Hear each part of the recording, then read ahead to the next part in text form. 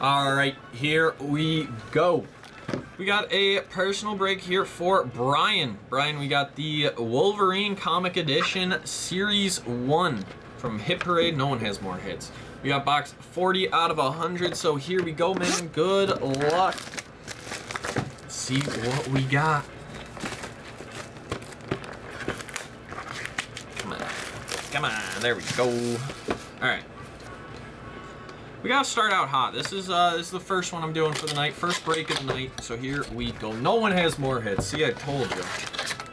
I told you. Oh, hold on. Whoa, whoa, whoa. Got something going on here. Hold on. What is this? What is this? They gave us a card. So, a little bonus here with your comic. You got a Mint 9 Logan from Fleer Ultra X-Men All Chromium 1995, card number 80. Mint 9 Error.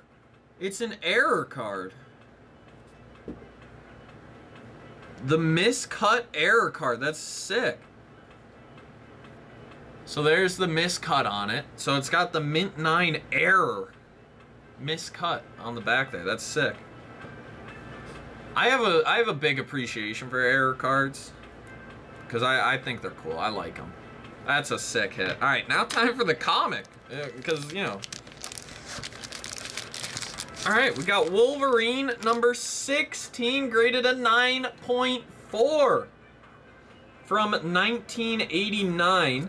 And this is the appearance of Jessica Drew. It's the Peter David story, John Buscema and Bill Sienkiewicz art with the Kevin Nowlan cover. So there we go.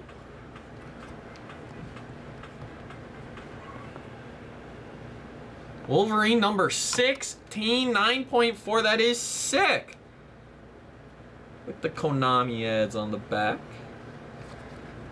What a hit. That's a that's a great way to start it out tonight. That's a great way to start it out. Wolverine 16, 9.4 from 89. And you got the Air Miscut Logan card, graded a near mint 9 with the Air. So that is a sick set of hits there, Bryan. A sick set of hits there, man. I hope you enjoyed the video. Take care. Have a good one, man.